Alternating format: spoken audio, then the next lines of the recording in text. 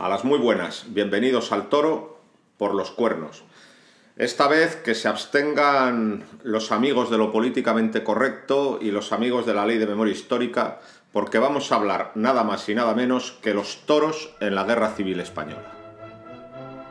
Antes de comenzar con el programa de esta semana, no olvides suscribirte a nuestro canal para no perderte ninguna de nuestras ediciones. Y si quieres que YouTube te avise cuando publiquemos un programa, activa la campana.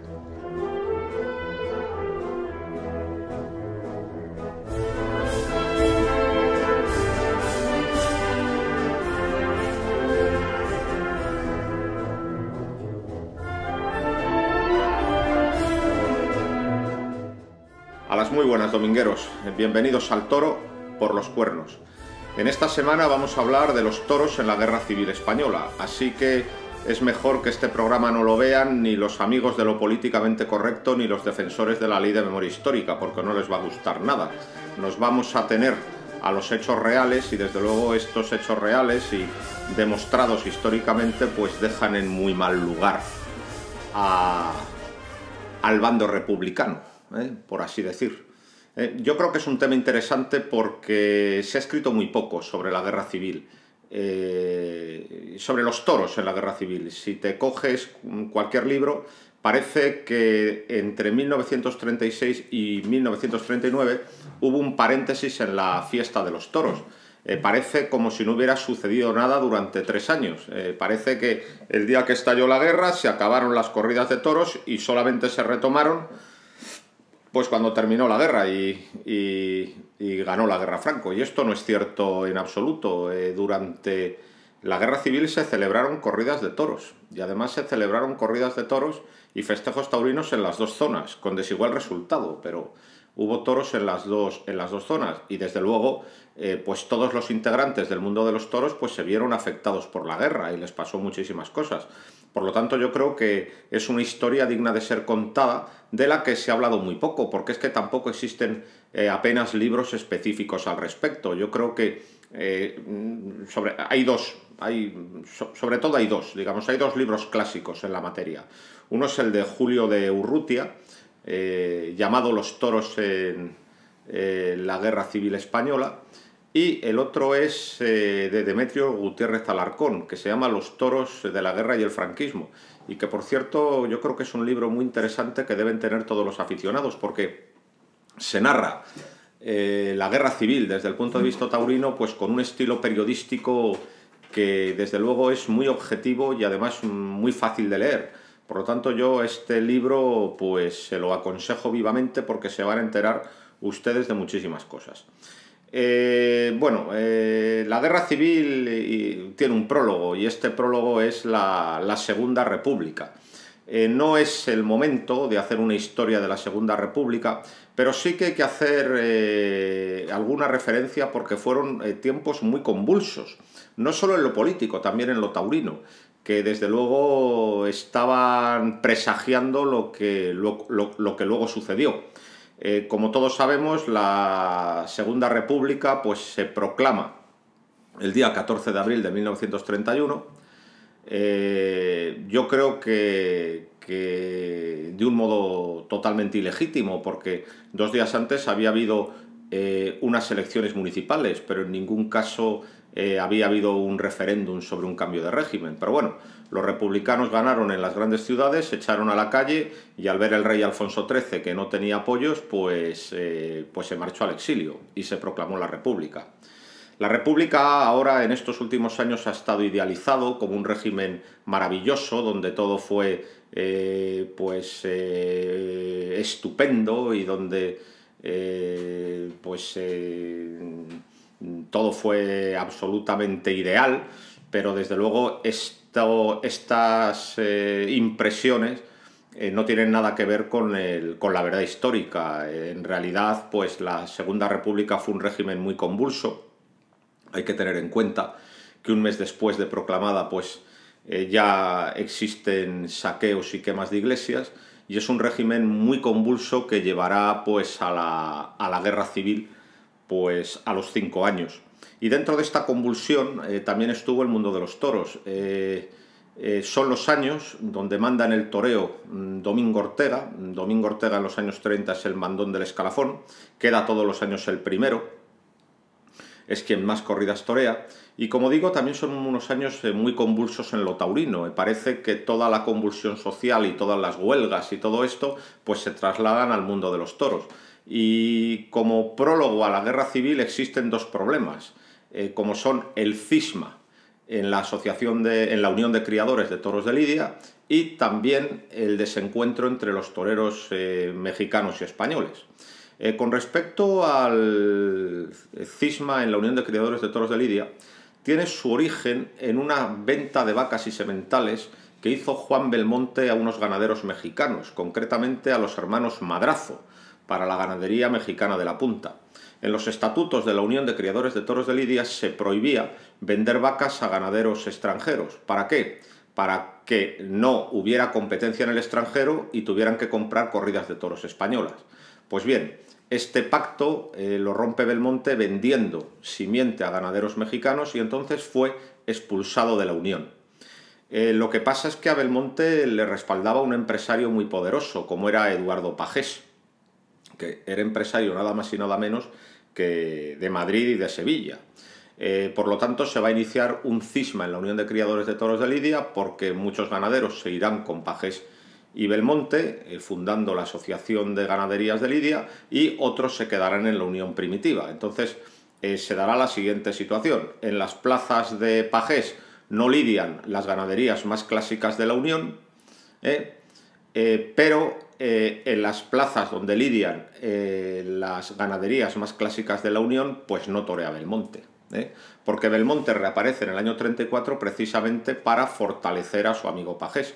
Y son dos años dorados de Belmonte, los años 34 y 35, donde llega a cortar dos rabos en Madrid y donde inaugura oficialmente la Plaza de Toros de las Ventas, que por cierto se había inaugurado en el año 31, el año de la proclamación de la República. Había habido una primera corrida en el 31, pero luego la inauguración oficial es en el 34 y como digo, oficiada por Belmonte con un rabo. Pues bueno, existía ese cisma entre ganaderos y el cisma quedó en suspenso por la guerra civil, porque una vez finalizada la guerra, pues se constituyeron los sindicatos verticales y a todos los ganaderos que habían pertenecido alguna vez en la Unión de Criadores de Toros de Lidia se les metió en el grupo primero, que podían lidiar en corridas de toros y novilladas picadas, y el resto de los ganaderos se les metió en el grupo segundo, que solo podían lidiar reses sin picadores. Como digo, este pleito lo resolvió la guerra y los sindicatos falangistas. Y luego el otro pleito fue el de eh, los toreros eh, mexicanos y españoles. Bueno, el año 35 eh, Armillita tuvo una temporada arrolladora, por ejemplo con un rabo en Bilbao. Y tal fue el éxito de Armillita en el 35 que en el mes de marzo del año 36 tenía contratadas más de 100 corridas de toros. Y todo el mundo tenía claro que iba a quedar el primero del escalafón.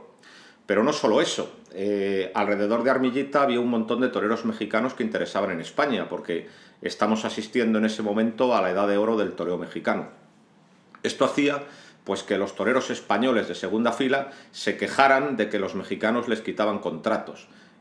Y entonces pues había un ambiente tenso. Eh, la gota que colmó el vaso eh, fue una corrida que hubo en Murcia en la eh, primavera del año 36, donde el cartel ya íntegramente fue de toreros mexicanos.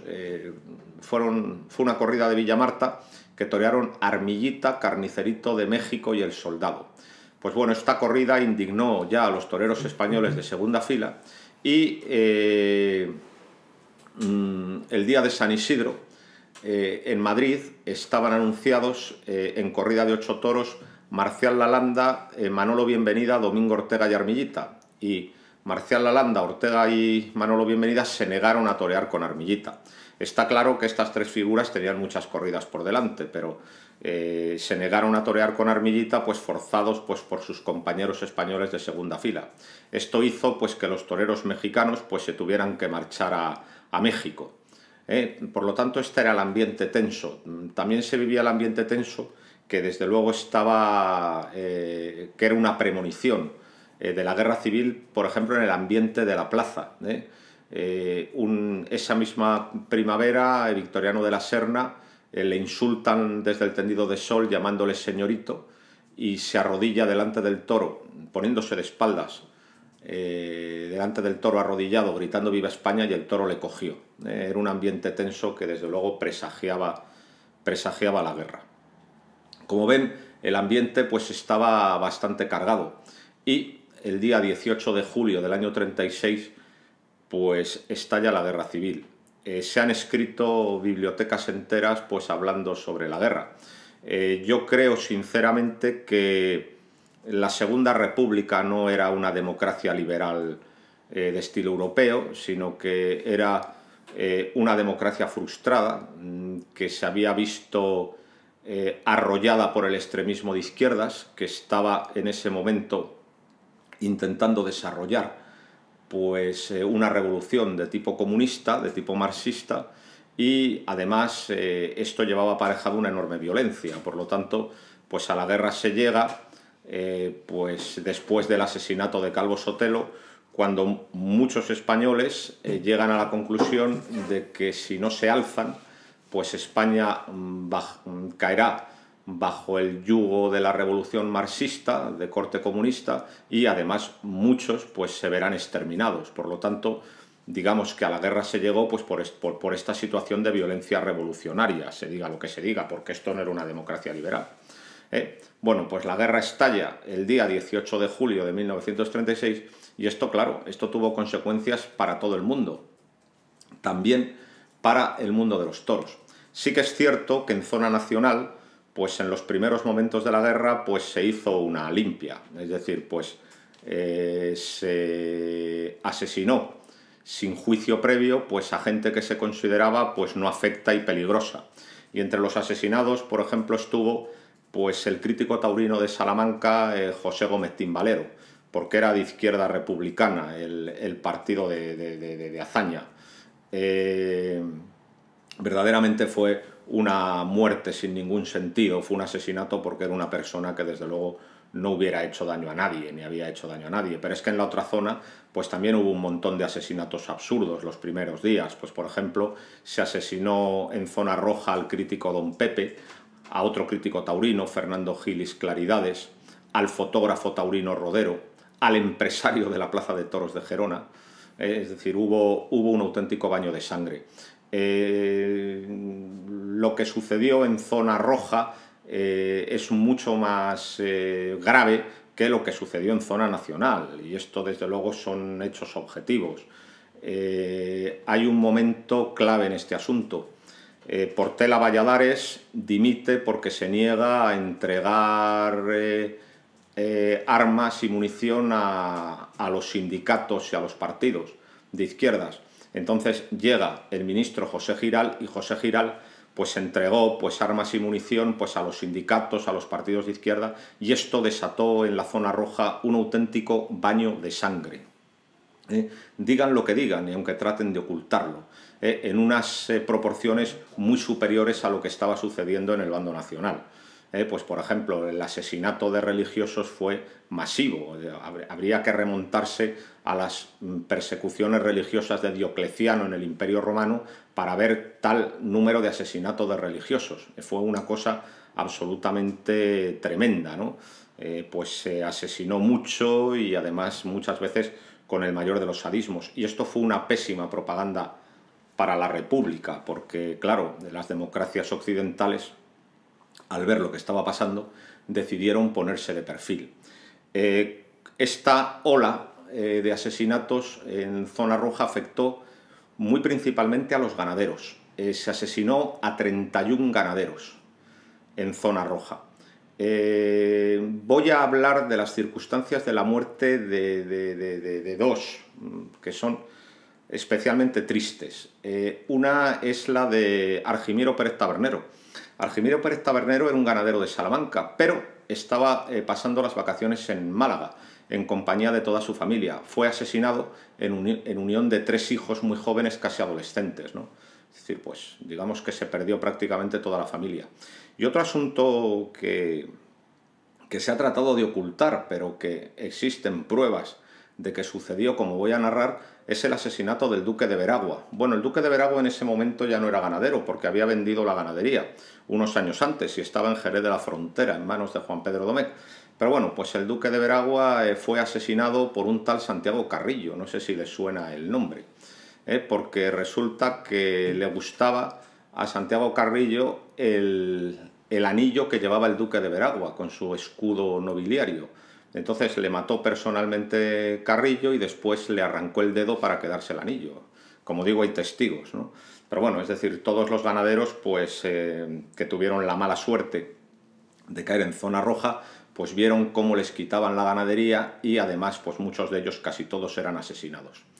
Eh, las ganaderías en zona roja, es decir, todas las ganaderías de La Mancha y todas las ganaderías de la provincia de Madrid desaparecieron, pero desaparecieron en unas circunstancias absolutamente estúpidas.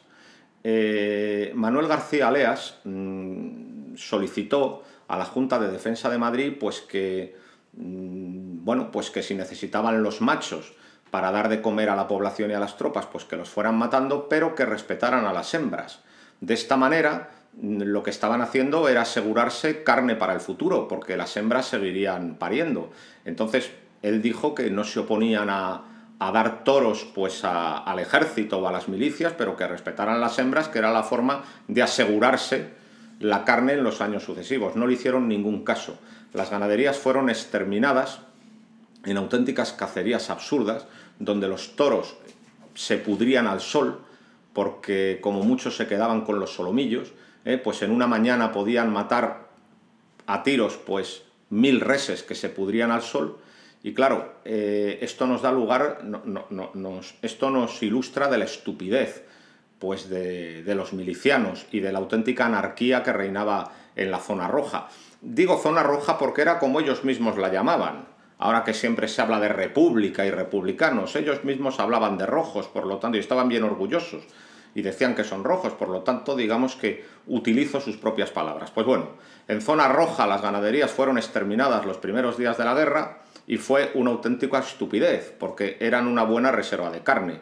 ¿eh? Y esto nos explica pues, la auténtica anarquía y el auténtico caos que reinó en zona roja. No es de extrañar que a los pocos meses de empezar, a la, de empezar a la guerra llegara una hambruna tremenda, porque es que ellos mismos, en una orgía de destrucción absolutamente eh, sin sentido, pues habían destrozado pues, eh, pues, pues sus, fuentes de, sus fuentes de alimento. ¿no?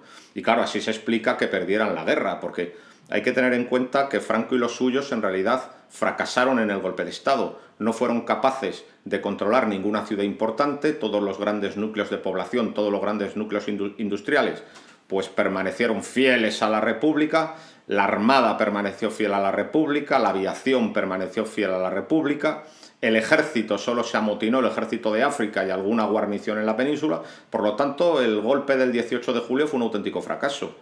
La República tenía las de ganar, porque tenía la mayor parte del ejército, la mayor parte de la población, la mayor parte de la comida, toda la industria, pero eh, perdieron la guerra al final por la desorganización, porque fue un auténtico caos revolucionario. ¿eh?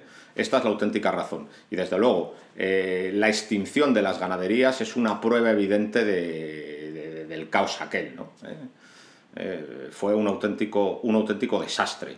Afortunadamente, las ganaderías de Salamanca y de Andalucía Occidental cayeron desde el primer momento en zona nacional y esto hizo pues que tuvieran futuro. Ojo, se mataron muchísimos toros para dar de, comer a la población y a las tropas, pero fue una matanza ordenada. Se mataban los machos mientras que se conservaban las hembras para que siguieran pariendo. Es decir, se hicieron las cosas pues de un modo lógico y de, un modo objetivo. Y desde luego fue una gran suerte que cayeran las principales ganaderías en zona nacional, porque desde luego de otra manera probablemente se hubieran acabado las corridas de toros en España por falta de materia prima. Fue una auténtica suerte. Bueno, como digo, los ganaderos fueron unos auténticos mártires, fueron asesinados eh, totalmente en zona roja. Y luego con respecto a, los toreros, eh, ¿qué actitud tuvieron con respecto a la guerra?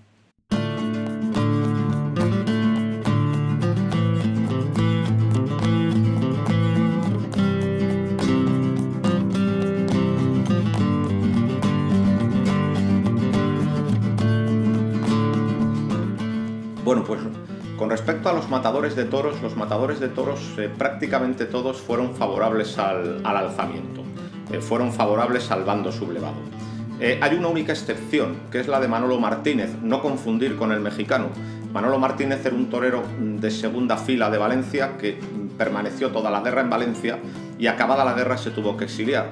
Pero la mayoría de los matadores pues fueron fieles a... Perdón, sí, fueron fieles al alzamiento, eh, se sumaron al alzamiento y en cuanto pudieron, pues eh, se marcharon a la, zona, a la zona, nacional. Eh, entre los matadores de toros hubo, hubo seis matadores de toros muertos en, la guerra civil. voy a contar un poco las circunstancias de, la muerte de, de cada uno. hubo tres matadores de toros asesinados por los rojos. El primero, Juan Luis de la Rosa. Juan Luis de la Rosa fue el compañero novilleril de Chicuelo y tomó la alternativa el mismo día que él. Juan Luis de la Rosa, el 28 de septiembre del 19 en la Monumental de Sevilla de manos de Joselito y Chicuelo esa misma tarde en la Maestranza de manos de Belmonte. Juan Luis de la Rosa parecía que iba a ser un torero muy importante, pero por su carácter abúlico, pues luego desde luego, pues luego eh, defraudó todas las eh, esperanzas que había, que había despertado. Sin embargo, en vísperas de la guerra, eh, ya, siendo un, ya siendo un torero muy, muy veterano, pues había tenido algún éxito en Barcelona, lo que había hecho que reverdeciera su cartel. Y estaba en Barcelona cuando es cuando estalló la guerra. Pues fue asesinado por los milicianos sin que el hombre, desde luego, tuviera ninguna, ninguna culpa de nada y, ninguna intervención y ninguna intervención política. ¿eh? Mm, fue, pues, desde luego, pues, un asesinato absolutamente arbitrario y sin ningún sentido, pues, de un hombre que desde luego no se había metido con nadie. Eh, eh, con respecto a Pablo Lalanda, el primo de Marcial Lalanda, pues este sí que verdaderamente estaba muy comprometido con el alzamiento. Pablo Lalanda eh, está en el Alcázar de Toledo con el general Moscardó y como conocía muy bien la zona, el general Moscardó eh, hace que salga una noche del Alcázar para intentar contactar con las tropas que van por Extremadura avanzando hacia el Alcázar. ¿eh? Salió una noche, pues como digo, para contactar con las tropas nacionales y tuvo la mala suerte al día siguiente de ser reconocido por un miliciano. Y por lo visto le dijo, hombre maestro, ¿qué hace usted por aquí? Y esa fue su perdición. Fue eh, asesinado en, en, un sitio de Toledo que se llama el Puncal y además fue asesinado con seis miembros más de su familia. Con respecto a Victoriano Roger Valencia II, pues Valencia II era un torero muy valiente de la Edad de Plata de los años 20, que había labrado su cartel a base de cornadas y arrimones, y era un tipo muy simpático, le llamaban el chato, porque, pues, pues eso, por, por, cómo tenía la nariz, y era un tipo muy simpático que a todo el mundo le caía muy bien, porque era pues una persona muy extrovertida y muy buena persona, pero también era falangista de primera hora, ¿eh? porque luego ya cuando empezó la guerra todo el mundo se apuntó a falange, pero antes de empezar la guerra casi nadie era de falange porque te jugabas la vida. ¿eh? Y por lo tanto había muy pocos falangistas. Pues Victoriano Roger Valencia II sí que era falangista y por lo visto además, pues como tenía un temperamento muy impulsivo, pues se enfrentaba a todo el mundo hasta el punto de enfrentarse al público a veces. Mm, hay una anécdota que de un día que se enfrentó a un público que le increpaba precisamente por falangista y Marcial Lalanda le dijo, Victoriano, por Dios, cállate que nos van a matar. Bueno, pues a Victoriano eh, Roger Valencia II le detuvieron los milicianos y le asesinaron en las tapias del cementerio de Hortaleza. Pero como él era así, por lo visto, la última oreja que cortó fue la de un miliciano. Iba atado con las iba atado, eh, o sea, las manos las llevaba atadas a la espalda y de un mordisco se abalanzó hacia un miliciano que iba a su lado y de un mordisco le arrancó una oreja. Fue la última oreja que cortó. Y por cierto, murió eh, pues insultando a sus insultando a sus asesinos eh, con una actitud absolutamente gallarda y sin ningún miedo ante, ante la muerte. Estos son los tres eh, matadores asesinados directamente por los rojos. Luego murieron otros tres matadores. Uno es Serranito de Córdoba. Serranito de Córdoba había sido un torero pues modesto que había acabado sus días como torero porque por una cornada le, habían tenido que amputar la pierna. Y se dedicaba pues a vender agua de casa en casa eh, por Córdoba con unos botijos, botijos que llevaba un burro. Bueno, pues hubo eh, un bombardeo republicano en Córdoba, porque no solo bombardearon los nacionales, también los rojos. Hubo un bombardeo rojo en Córdoba y le dijeron, Serranito, Serranito, vete rápido al refugio, que, que vienen los aviones. Y por lo visto, el burro, en una reacción terca, pues no quiso andar y se quedó solo en la calle Serranito con un burro que no andaba, mientras los aviones tiraban bombas y una bomba le alcanzó y le mató. Y luego el sexto matador de toros eh, muerto en la guerra civil es Saturio Torón. Saturio Torón era un torero navarro de segunda fila o de tercera fila, que por lo visto también era como Valencia II, era, eh, era pues eh, falangista antes de la guerra. Y como le cayó, le tocó la guerra en zona roja precisamente para salvar su vida, y para hacerse perdonar el pasado falangista, pues se apuntó voluntario al, ejército rojo y llegó a ser oficial y cayó en el frente, pero cayó en medio del mayor de los enigmas, porque no se sabe muy bien si la bala que le dio vino de frente o vino desde sus líneas, ¿eh? Que es lo mismo que le pasó a un novillero puntero, Cayetano de la Torre, morateño. Cayetano de la Torre fue un novillero interesante, pues eh, a mediados de los años 30. Por cierto, torea la primera novillada que se da en la plaza actual de las ventas, en octubre del 34, y eh, Cayetano de la Torre estaba como enlace, como, como motorista enlace en el frente, en la zona roja. Y por lo visto a los motoristas les habían dado pues unos tres cuartos de cuero muy bonitos y que eran muy ambicionados y muy cotizados. Y por lo visto también los tiros vinieron de detrás porque alguien se encaprichó del tres cuartos. Ah, por último, se me ha olvidado decir otro muerto, otro matador muerto en acción de guerra, el, el algabeño, algabeño hijo, que fue un torero también muy valiente de los años 20, y este murió a caballo, ¿eh? porque también hacía, actuaba de enlace con las tropas de Queipo de Llano, en Sevilla, y murió en acción de guerra cuando llevaba a caballo un parte, un parte de guerra. Estos son digamos, los muertos entre los matadores de toros. Con respecto a los novilleros, a los banderilleros, a los picadores, la cosa estuvo mucho más repartida, mientras que eh, el colectivo de matadores de toros prácticamente casi todo, vamos, eh, de modo unánime, eh, fue partidario del, alzamiento en, digamos, las en las filas de los subalternos la cosa estuvo más, más repartida, más dividida. Hubo partidarios de, los dos bandos. Eh, los rojos también fusilaron a algún picador, algún banderillero, pero como digo, la cosa estuvo muy repartida. Por ejemplo, eh, en el frente de Teruel, mm, en, el bando rojo, eh, hubo una brigada a la que se llamó la de los toreros por la cantidad de toreros que había en su seno. Estaba comandada por un novillero de Fuenlabrada, que se llamaba Luis Prados Litri II, y también contaba como oficiales a Juan Mazquiarán Fortuna Chico, el hermano menor de Fortuna.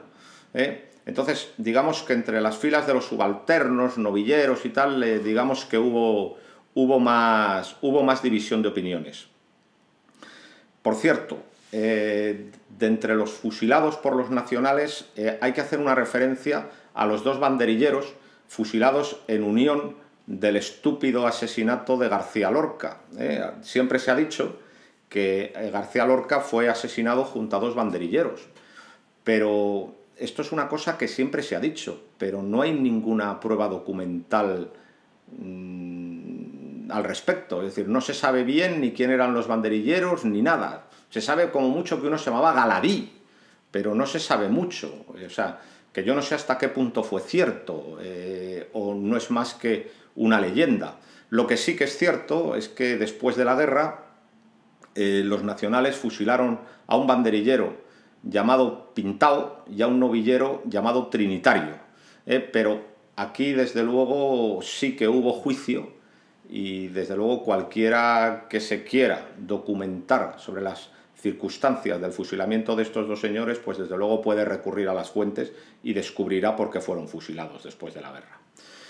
Y esto es lo, esto es lo que hubo, digamos que en las filas eh, subalternas y novilleriles dentro de, dentro de, dentro, de la guerra civil. Eh, una vez que más o menos he delimitado los campos y una vez que más o menos pues he hablado de los principales eh, asesinatos, pues ya mm, tenemos que hablar de cómo fue transcurriendo la guerra en, las dos zonas. Eh, en la zona roja, en los primeros meses de la guerra, se dieron muchísimos festivales a favor del socorro rojo, a favor del miliciano, festivales muy caóticos, porque claro, como eh, tenían una ideología igualitarista, tan pronto toreaban matadores de toros como novilleros sin ningún cartel. ¿eh? digamos que era un toro para cada uno porque aquí todos somos iguales. ¿eh? Hay fotos, por ejemplo, de Vicente Barrera o de Domingo Ortega pues toreando en la Plaza de Valencia vestidos de miliciano.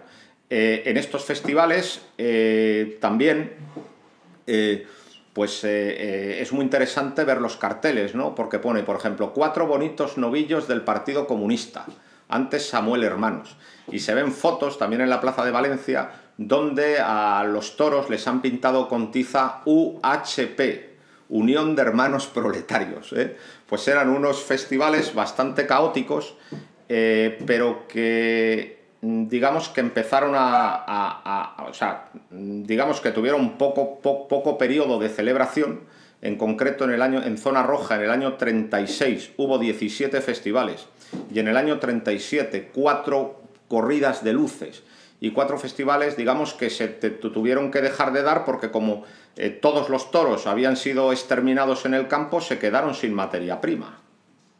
¿eh? Entonces, como se quedaron sin materia prima, pues, pues tuvieron que dejar de dar. ¿eh? por cierto, a quien le pilló la guerra en Madrid y no fue molestado en absoluto, fue a Rafael el Gallo. A Rafael el Gallo le pilla la guerra en Madrid ¿eh? pero estaba metido en su habitación, sumido en no se sabe qué, pensamientos y total, que tardó muchísimo en enterarse. Vienen unos milicianos a pedirle que toree un festival, él accede, ¿eh? y cuando baja a la calle y la guerra ya llevaba un mes, preguntó, ¿pero qué hace tanto zordo en la calle? No se había enterado. Tal era su mundo interior. Y como digo, pasó toda la, guerra en zona roja, en, Madrid, y nadie le molestó. Pero como digo, en, los, en estos primeros eh, meses, en los dos primeros meses de la guerra, hay muchos festivales en zona roja, con los toreros vestidos de miliciano y tal, y, a, beneficio de, la, pues, pues de un montón de, organizaciones de izquierdas. Y vuelvo a repetir, también eh, se dejan de celebrar porque se quedan sin, se quedan sin animales. ¿no? En zona nacional está pasando un proceso parecido, es decir, también se montan muchísimos festivales pues en beneficio a, a Falange, a la Manta del Soldado, al glorioso Ejército Nacional. ¿eh? inmediatamente pues se contó con los, con los toreros pues para, para, para que les, pues, bueno, pues para, para que les ayudaran en recaudar, en recaudar dinero para el esfuerzo de guerra. Y por cierto, eh, en zona nacional, el 18 de octubre del 36 hay una corrida muy importante. Es una corrida eh, organizada por Keipo de Llano, capitán general de Sevilla, precisamente para recaudar fondos para el ejército. Y digo que es importante esta corrida porque es la última vez que se vistió de luces Juan Belmonte. En la mayoría de los libros se dice que Belmonte se retira en el año 35, y no es cierto. Esa fue su retirada oficial, pero en el año 36, Keipo de Llano le pidió volver a vestir de luces para torear esta corrida en honor al Ejército Nacional y Belmonte accedió. Y toreó vestido de corinto y blanco un toro de Concha y Sierra que cortó dos orejas en una tarde en la que también cortaron dos orejas Manolo Bienvenida y Domingo Ortega. ¿Eh? Eh, qué hicieron los toreros, los matadores, cuando estallaron la guerra? Cuando estalló la guerra, pues eh, todos los que fueron sorprendidos en la zona roja, lo que intentaron fue pasar inmediatamente a la, a la zona nacional. alguno para congraciarse con las autoridades rojas, tuvo un festival, pero en cuanto pudo pasó a zona nacional. ¿Y cómo pasó a zona nacional? Pues con un contrato. Es decir, le mandaban un contrato para torear en Francia, tenía que ir a cumplir con el contrato en Francia, pero una vez toreada la corrida, en vez de volver a zona roja, pues entraba en zona nacional por, por San Sebastián. ¿eh? Este fue el modo de, pues seguido por la mayoría de los toreros, como Domingo Ortega, Marcial Lalanda, pues para pasar a zona nacional. Y aquí hay un personaje muy importante que fue Marcel Dangout.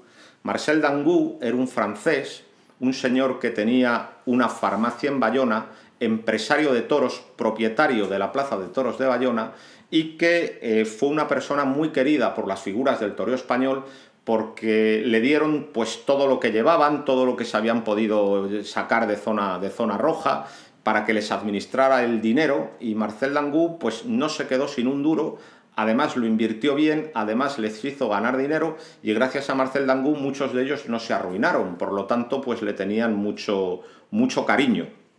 Por cierto, la temporada de verano del año 36 en las plazas francesas fue espectacular. ¿Por qué? Porque como por la guerra había muchos menos toros en España, pues las figuras se contrataban en Francia con muchísima, con muchísima frecuencia. Y además, como la situación estaba como estaba, pues no eran exigentes económicamente. El caso era torear y el caso era salir de la zona roja. Por tanto, pues hubo pues una gran efervescencia taurina en la Francia en el verano, en Francia en el verano del año 36 y también hubo una gran efervescencia taurina en Portugal.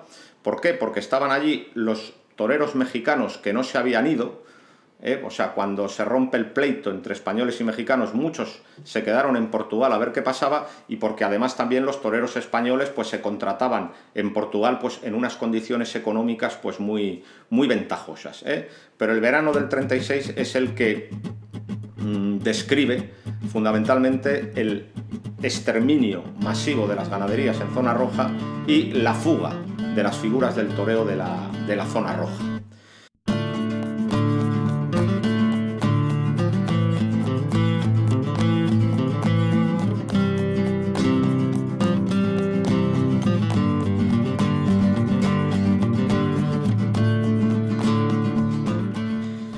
El año 37, pues el año 37 en zona roja solo se dieron eh, cuatro festejos vestidos de luces, no me atrevo a llamarlos corrida de toros porque toreaban indistintamente matadores y novilleros y cuatro festivales, ya con, los últimos animales que les quedaron. Mientras que en zona nacional pues ya hubo 56 corridas de toros en el año 37 porque las autoridades tenían una gran preocupación pues en que la gente se divirtiera e intentar que la vida fuera lo más normal posible.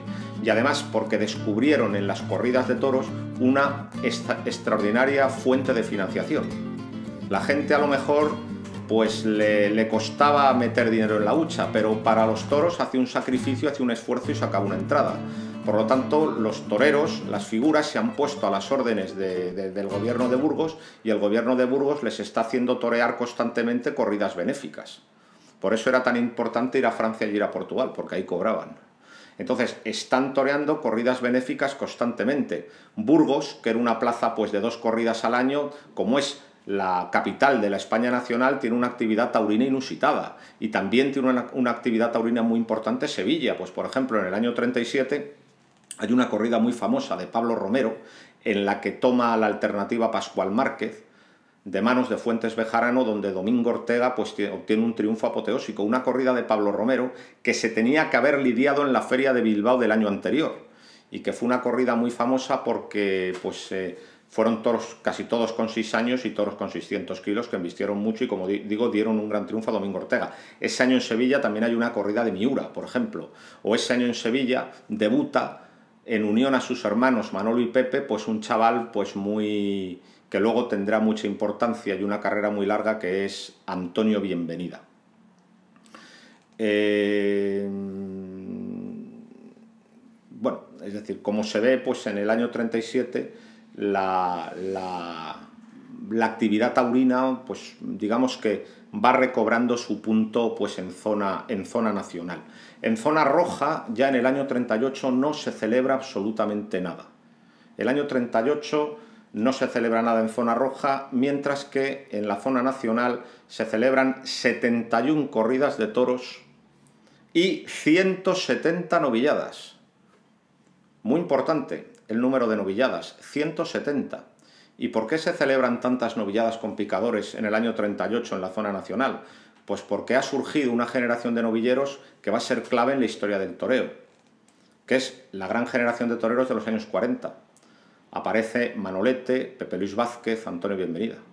Y entonces hacen que tenga eh, muchísima importancia las novilladas. Por cierto, el gran palenque novilleril de ese año es la maestranza de Sevilla.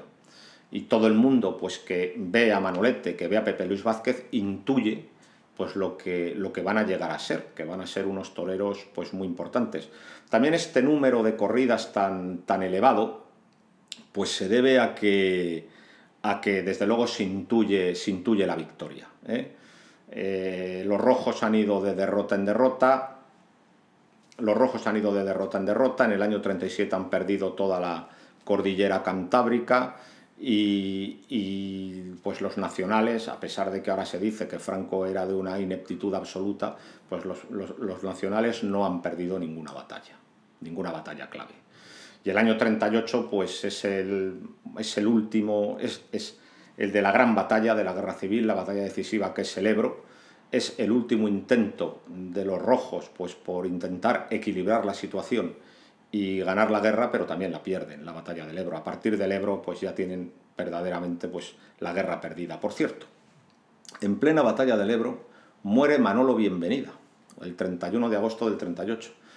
Y no muere por, por causa de guerra ni nada que se le parezca, eh, resulta que, bueno, que a Manolo Bienvenida le gustaban mucho los perros, y tenía muchos. Y los perros le transmitieron un quiste hidatídico que por lo visto se aloja en el pulmón e hizo que muriera pues en plena, en plena juventud. Eh, la última corrida la toreó Manolo Bienvenida en Lisboa, con un terno rosa y oro, que yo llegué a ver en el antiguo Museo de Lisboa y que yo no sé dónde habrá ido a parar ese traje, pero, pero yo lo he visto. Bueno, pues Manolo Bienvenida pues fallece a causa de un quiste hidatídico en plena juventud y fue una pérdida muy grande porque Manolo Bienvenida fue de los grandes toreros de los años 30, eh, sin duda el Bienvenida más, más completo y más figura y que además eh, fue para, para medir la importancia que tiene Manolo es que cuando Domingo Ortega apareció arrollándolo todo en el año 31, el único que fue capaz de plantarle cara y competir con él fue Manolo Bienvenida. Esto da idea pues de lo importante que fue como torero, un torero muy completo, eh, de corte gallista, dominador de todas las suertes, de los tres tercios y además que podía con los toros. Un torero muy importante y como digo, muere en San Sebastián por un, por un quistidatídico y bueno, pues por un día los periódicos eh, ocuparon sus titulares mm, con la muerte del torero más que por los acontecimientos de la, guerra. Eh, el año 39 pues eh, ya es el del hundimiento de la República. Eh, mm, todavía se dieron en zona nacional antes de terminar la guerra dos corridas y 15 festivales y en zona roja no se dio nada. Con respecto a los festivales, la verdad es que es fácil hacer un recuento de las corridas de toros y las novilladas que hubo en zona nacional, pero es muy difícil hacer un recuento de festivales. En realidad se tiene una idea aproximada. ¿Por qué? Porque hubo festivales en, todos los frentes de guerra.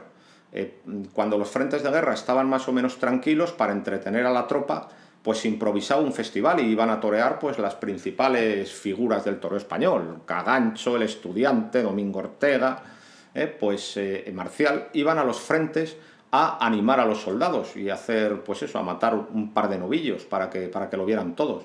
Por lo tanto, es imposible medir el número de festivales en zona nacional porque se dieron muchísimo y, como digo, a pie de trinchera prácticamente, porque fue una forma de entretener a los soldados y porque, como ya he dicho desde el principio, las figuras del toreo se pusieron a las órdenes del cuartel general de Burgos y el cuartel general de Burgos los tuvo entretenidos toreando corridas benéficas o toreando festivales para los soldados en la línea del frente. O sea que la actividad taurina fue muy intensa, mientras que en zona roja prácticamente desapareció, la actividad en zona nacional fue, eh, fue, fue, pues fue frenética, sobre todo conforme van ganando la guerra.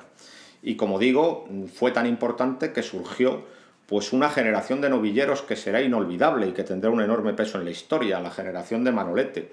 Y hablando de toreros, los grandes perjudicados mm, desde el punto de vista taurino por la guerra civil fueron aquellos matadores de toros jóvenes que habían tomado la alternativa pues, en el año 34, 35, 36, pues por ejemplo Rafaelillo, eh, José Gallardo, Venturita, eh, Jaime Pericás, pues tuvieron muy mala suerte. ¿Por qué? Porque cuando estaban a punto de consolidarse como matadores de toros, estalla la guerra y todo lo trastoca.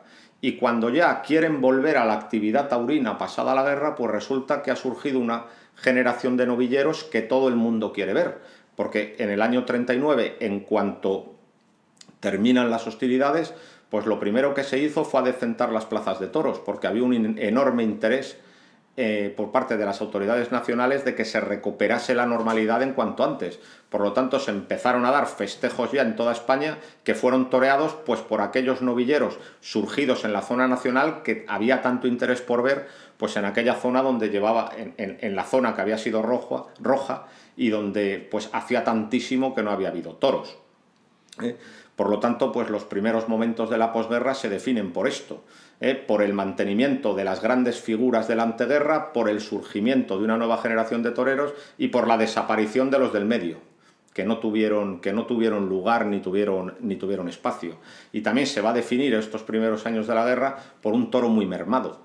¿Por qué? Pues porque como no, bueno, pues como no había eh, mm, comida pues para, bueno, si no había comida para la gente en un país arruinado por la guerra, pues desde luego nadie se preocupaba de dar de comer a los toros. Y entre que habían desaparecido muchas ganaderías y entre que no había medios para darles de comer, pues se lidiaron eh, pues unos toros, unos toros muy chicos. Eh, ya por último, para por contar alguna, alguna anécdota sórdida de la guerra, pues voy a contar dos, eh, que, son, que son relacionadas con los toros o tal. Bueno, pues en primer lugar pues habrá que deshacer pues todo lo que se ha dicho sobre las matanzas eh, en la Plaza de Toros de Badajoz. Eh, en la Plaza de Toros de Badajoz, cuando llegan los legionarios de Yahweh, se fusiló a gente, pero esos fusilamientos no tuvieron ninguna relación con lo taurino ¿eh? como se ha dicho, es decir, se ha llegado a escribir por ahí que participó Manolete y que banderilleaba y mataba estoque a los, a los rojos. Eso es una, auténtica falsedad, es una auténtica falacia, eso es una auténtica mentira. ¿eh? Es decir, los fusilamientos que tuvieron lugar a principios de la guerra en la Plaza de Badajoz no tuvieron nada que ver con lo taurino ni, ni, ni, ni tuvieron ninguna relación con el mundo de los toros, solo el lugar. ¿eh? En cambio sí que tienen una siniestra relación con lo taurino por ejemplo, el asesinato del cura de Cienpozuelos, tirado por los milicianos a un corral eh, donde un toro le asestó 30 cornadas y una vez muerto el señor cura, cortaron la oreja del cura y se la tiraron al toro. Eso está documentado.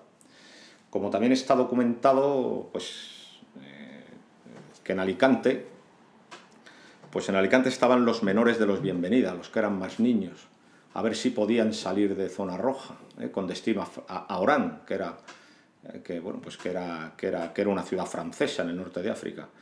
Y por lo visto unos milicianos se acercaron al más pequeño de los bienvenida y le dijeron, oye tú, tú que vas a ser torero, mira las orejas que hemos cortado. Y le dieron un saco y estaba todo lleno de orejas humanas, pues de los curas que ese día habían asesinado y les habían ido cortando la oreja. Digamos que estas dos anécdotas siniestras de los primeros días de, los primeros días de la guerra, que desde luego fueron fueron absolutamente, absolutamente atroces. ¿no? Eh, y esto es lo que pasó, y esto es lo que sucedió. ¿eh? Mm, me vuelvo a remitir a lo que he dicho, eh, fue absolutamente milagroso que las ganaderías de Salamanca y de Andalucía Occidental cayeran en manos nacionales, porque si no el futuro de la fiesta de los toros hubiera sido imposible. Y también fue un auténtico milagro que, que ganaran los nacionales, porque Azaña, e Izquierda Republicana, el partido de Azaña, pues tenía previsto prohibir las corridas de toros, porque claro, Azaña era un enorme odiador de lo español y además de odiador de lo español tenía un enorme complejo de inferioridad frente a Europa. Por lo tanto, estos eran los proyectos del señor Manuel Azaña. ¿eh? Por tanto, si la fiesta de los toros se salvó, pues es por lo que he dicho. ¿eh? Y también eh, para ser eh, absolutamente fieles a la realidad, sí que es cierto que la fiesta de los toros probablemente se salvó porque ganó la guerra franco.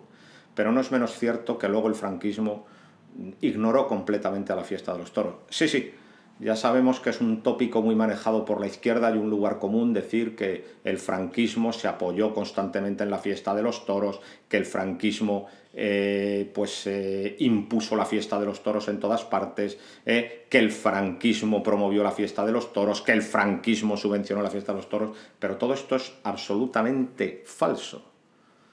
La auténtica realidad es que el colectivo taurino, en su gran mayoría, sí que apoyó entusiásticamente al alzamiento, entre otras cosas porque vieron que los rojos les iban a matar. Pero este entusiasmo y esta colaboración del mundo de los toros con, el bando ganador de la guerra civil luego no fue recompensado. Es decir, el, bando ganador de la guerra civil simplemente tolera la existencia de los toros, pero en ningún caso la, la promueve ni, ni la ampara, simplemente la tolera y lo que se va a hacer es fundamentalmente apoyar el dichoso fútbol. ¿eh? Lo que nadie dice es que el, fútbol, cuando tiene su gran expansión, es con el franquismo. Y en cambio nadie le tacha de franquista, pero es la auténtica verdad. Es decir, con el dinero del Estado se construyeron los grandes estadios, se empezó a hacer una propaganda enorme. ¿eh? Por tanto, la fiesta de los toros es muy anterior al franquismo mientras que el fútbol, que estaba en pañales antes del franquismo, porque por supuesto antes de la guerra Domingo Ortega era mucho más famoso que Ricardo Zamora, ¿eh? El franquismo verdaderamente, ¿eh? una de sus obras es el fútbol y nadie lo dice. Y en cambio eso se atribuye a los toros, cuando los toros en realidad simplemente pues, existieron sin tener ninguna protección. ¿eh? Y así terminó la cosa. La victoria de Franco y los suyos pues hizo que, España pues, estuviera bajo el régimen de Francisco Franco durante 40 años y bueno, eh, dejando aparte el asunto de los toros, pues menos mal, menos mal que ganaron Franco y los suyos, porque si no, imagínense lo bien que lo hubiéramos pasado siendo una república comunista. ¿eh? Pues imagínense, y desde luego seguramente nos hubiéramos metido en la Segunda Guerra Mundial y seguramente pues no se hubiera vivido el bienestar que experimenta España en los años 60, que luego va a permitir la transición y la constitución del 78 y un bienestar que estos políticos insensatos que tenemos ahora pues están dispuestos pues a, mandar a la, a, la, a la basura y sumirnos otra vez en un enfrentamiento. Porque lo más inquietante de todo, eh, cada vez que recordamos la historia, es que todas las vicisitudes de los años 30 se parecen de un modo absolutamente inquietante a lo que está pasando ahora mismo en España. En fin, esperemos que impere el buen, sentido, que impere la responsabilidad y que nunca volvamos a vivir pues, experiencias como las de los años 30 y por supuesto, si hemos hablado esta vez de historia, quizás sea porque, como dijo aquel, el pueblo que no conoce su historia está condenado a repetirla.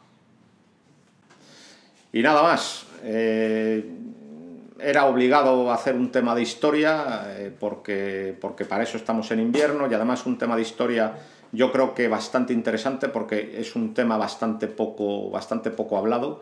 Eh, yo creo que, que, que ha estado interesante. Sé que a muchísima gente le va a sentar fatal todo lo que se ha dicho, pero me da igual porque todo lo que he dicho es bastante comprobable históricamente y ya la semana que viene pues volveremos con temas muy distintos. Sigan viendo al toro por los cuernos.